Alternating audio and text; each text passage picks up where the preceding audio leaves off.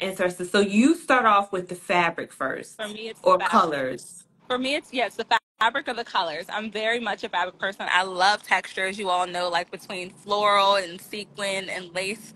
It just makes my heart pitter patter. So when I am able to to either create something um, in house, whether it's a textile or find a textile that's existing, whether you know, but I try to. Uh, recently, we've been pivoting towards like more sustainable products. Um, just making sure that like it, it works in that space. For me, that's like that's the heart thread right there. I'm like, okay, Right. great. What do I want to make this look like? You know, like how do I want to change this from being this fabric to being this amazing gown or this amazing suit? Okay. Very cool. So I met you when you just won the 2018 Charleston um competition. Right. So what has life been like afterwards? Oh my goodness. Life has been good. It's been, of course, ups and downs because, of course, being a small business, being woman owned, having to work off a certain set of funds and scaling Right. and things of that sort, and just learning process. It's been, you know, ups and downs. But for the most part, the Charleston Fashion Week platform, winning that um, opportunity or having that opportunity has definitely, I think, thrusted my business. Um, I was able after Charleston Fashion Week to sit down and have lunch with Fern Mallis, which I'm like, Mhm. what? Like me? Like I get to go and have like, okay, great, you know, and from there, which is really honest conversations. And one thing that I've, you know, that sticks with me to this day, Fern's like, oh, Tyjon, don't quit your day job. Like you're an amazing designer, but fashion is so expensive and the way in which things are ever changing you always have to you know you always have to ensure that you have the financial backing behind you. And with that stated you're a smart girl and i tell you not to quit your day job. And i'm like okay great. Okay that makes sense. And then it's more so um, having things like coming from charleston fashion week and being able to do philly fashion week and being invited to new york fashion week. These have all been opportunities i think because charleston fashion week opened up the brand awareness to, for people to know that Tyson Lace was out there you know or is out there. Um, so I think that many opportunities have come from that. I still get people to this day like, "Oh, you won." I'm like, "Oh yeah, I did."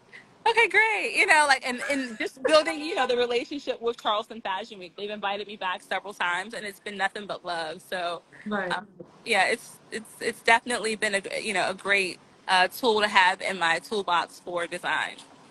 Would you advise any up and coming fashion designer to participate in the Charleston? Okay. I, there's there's no reason not to. The amount, like I said, the resources. I think I came out that year and we had like a um, a 12 month mentorship with marketing and understanding like how uh, at that time like how social media works and how it was to grow your business with that space and then also being able to have like the video assets and the runway photos. Like these are key things that like designers pay so much for and A charleston lot. actually yeah was able to just give that you know to you as part of your package of participation not just to win but participation so Right. i say that if you can get in if you you know do the work it, it'll show up and, and you'll be you'll be very excited from what you're able to yield from that opportunity Yeah, there's a lot of people who are just so gun ho on just going to New York Fashion Week or Paris, like the big five. And I'm just like, you know, there's so much more opportunities, especially with this landscape of di- digital media. You just never know, like, who can just